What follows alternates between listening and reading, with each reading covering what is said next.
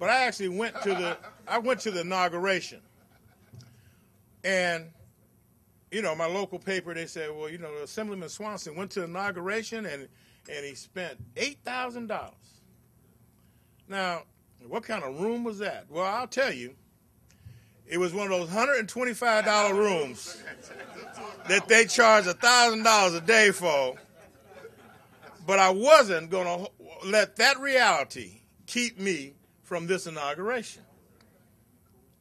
And it's not like you're going to say, well, we, we're gonna, you can go the next time we elect the African American president of the United States. That'll be the second time. No, I wanted to go the first time you know, so I could, I could, so I could participate. And so we went. I contacted Senator Feinstein, and Senator Feinstein got me two tickets. And I said, you know, I, you know, uh, actually, Percy Pinckney, uh, you know, worked this. God bless him.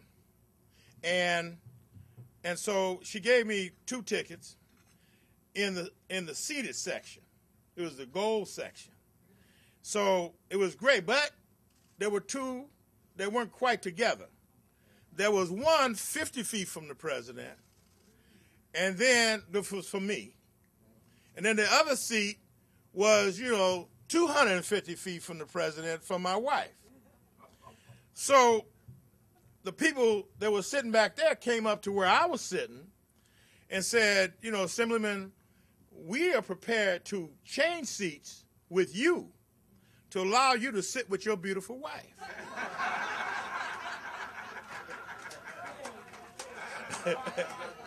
so, so I said, I'm going to see her later. But right now, I want to see the president, the first family, the first lady from 50 feet away.